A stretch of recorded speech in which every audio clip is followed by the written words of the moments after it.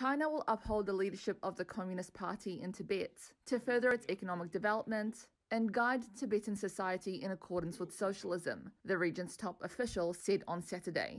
Speaking at a news conference in Beijing, Tibet's party secretary Wu Yingjie said, First and foremost, we must uphold the leadership of the Communist Party of China.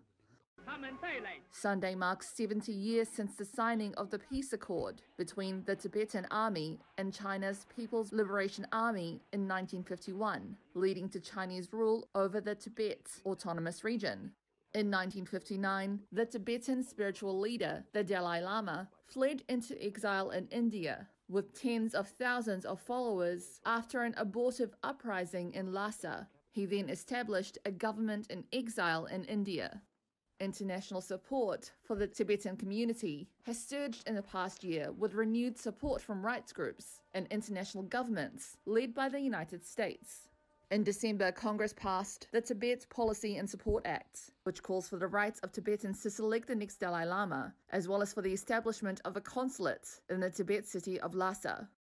China, which is officially atheist, has strongly condemned the act, saying it's an effort to meddle in the country's internal affairs.